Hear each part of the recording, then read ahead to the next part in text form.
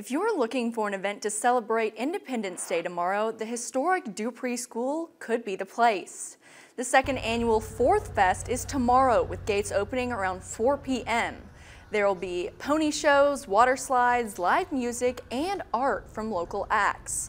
There will be a $20 per vehicle donation fee to attend the festival, and with the money going towards the preservation of the school.